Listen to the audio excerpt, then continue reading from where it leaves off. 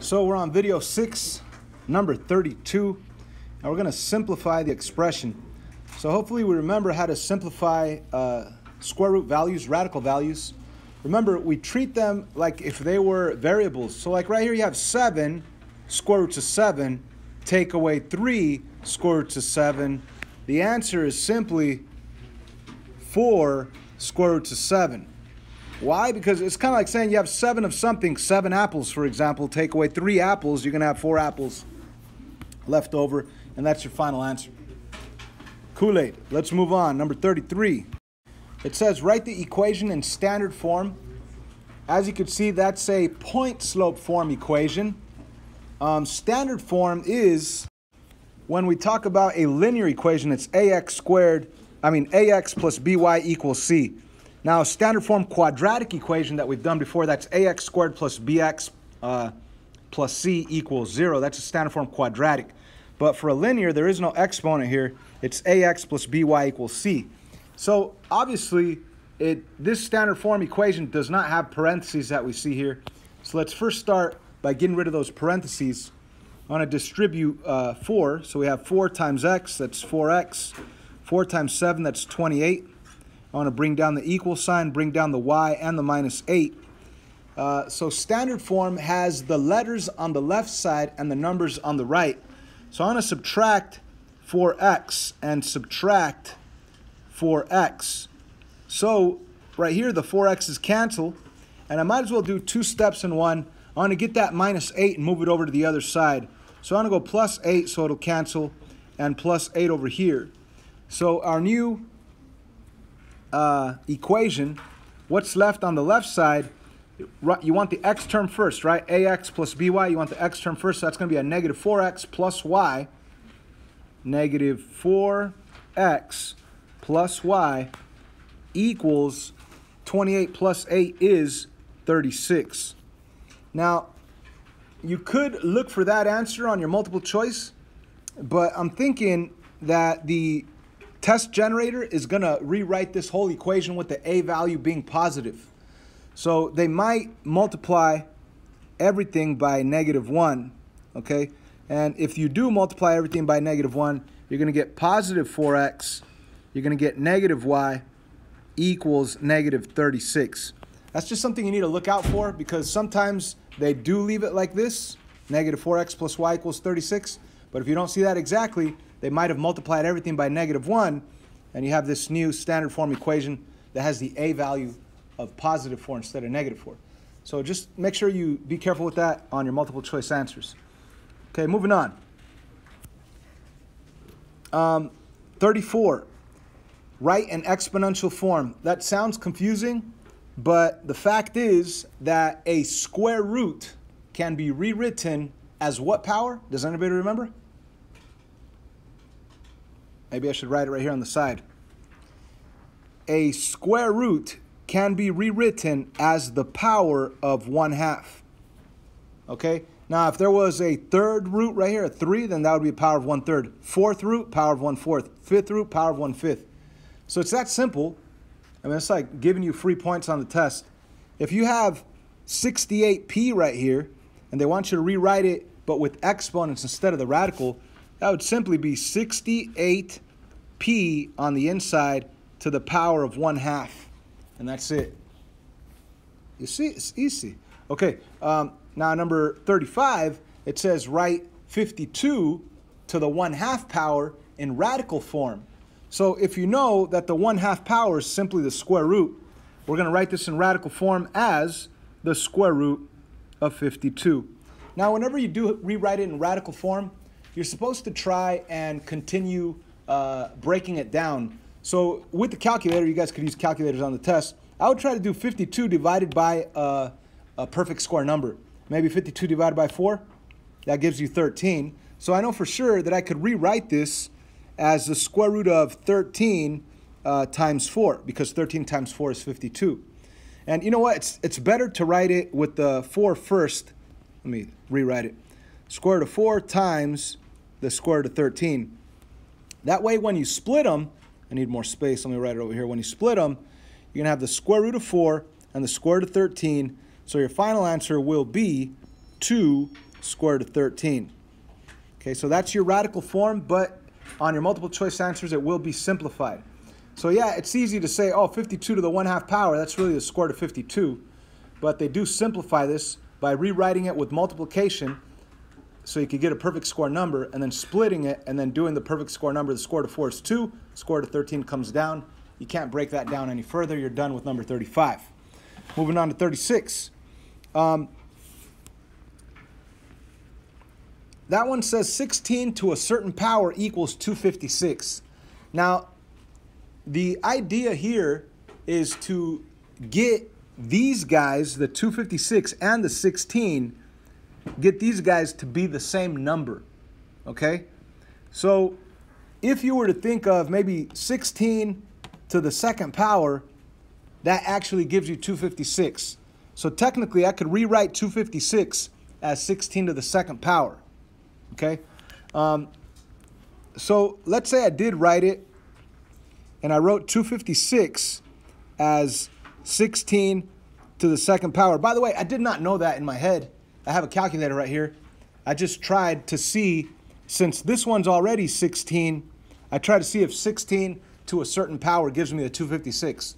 So I simply tried 16 to the second power, and it really did give me 256. So this one's already um, 16, and it's to the 4x plus 3 power. Of course, there's an equal sign between them. So whenever you do have uh, a certain base to a certain power equals to that same base and a certain power, all you do is scratch out the bases and the exponents come down and you have a new equation.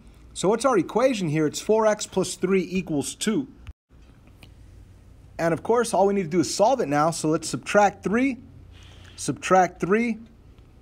You're going to end up with 4x equals negative 1, which means that x equals negative 1 fourth.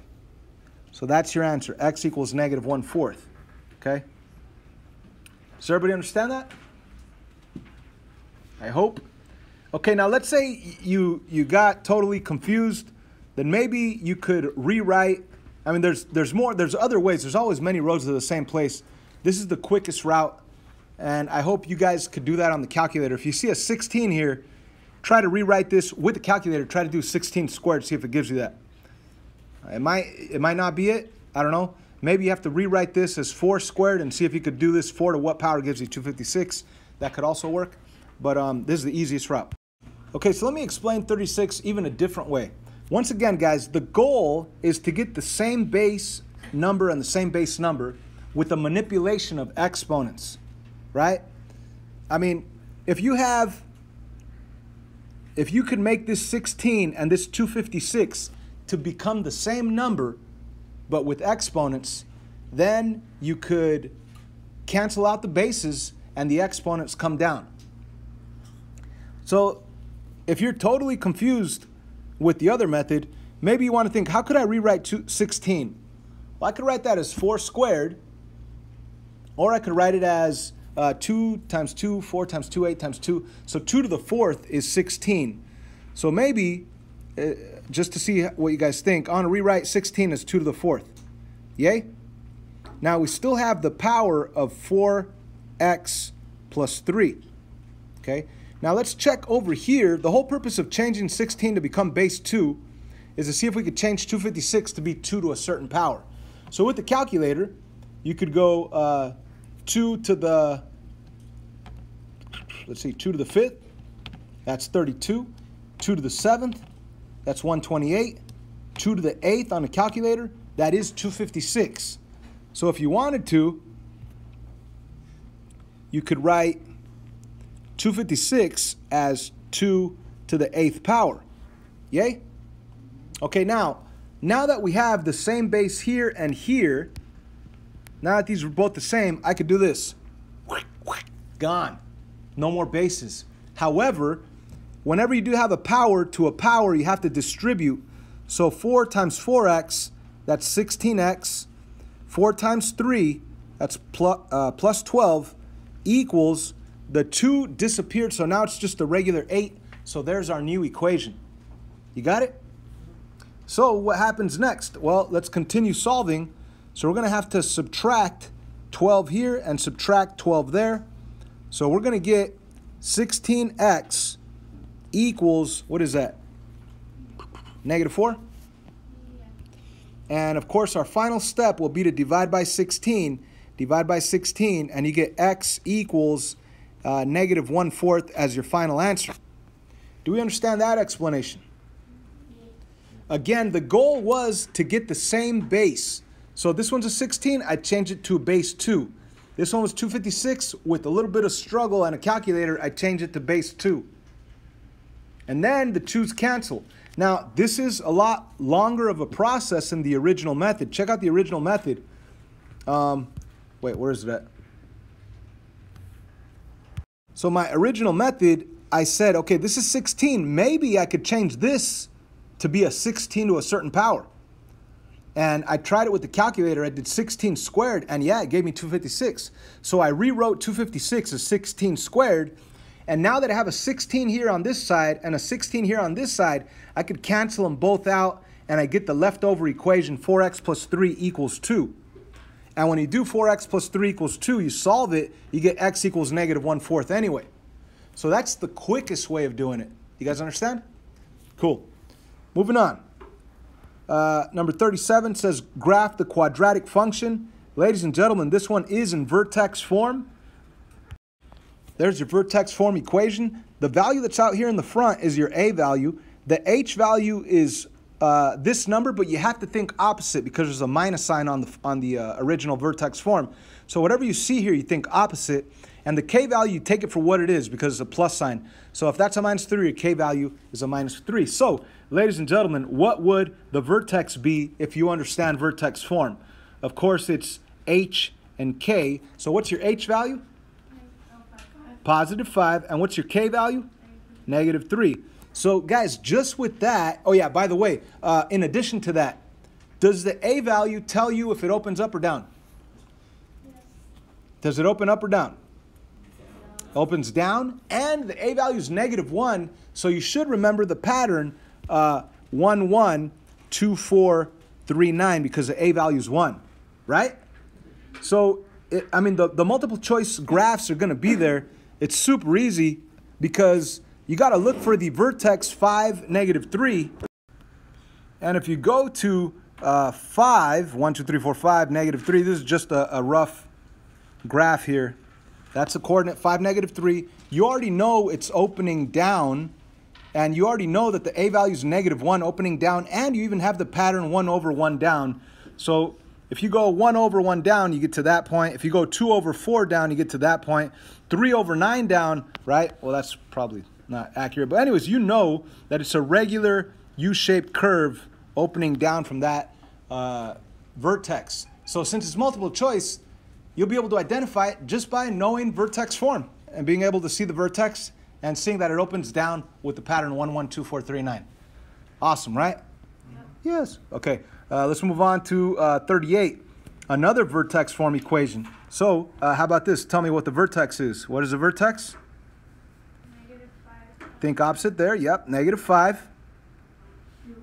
Positive 2. That's right. Negative 5, positive 2. Okay, so let's go to, again, this is already going to be done for you. So let's go to negative 5 negative 5, positive 2, right? So it's a dot right about there. Is this opening up or down? It's opening down, right? Uh, does it have the pattern 112439?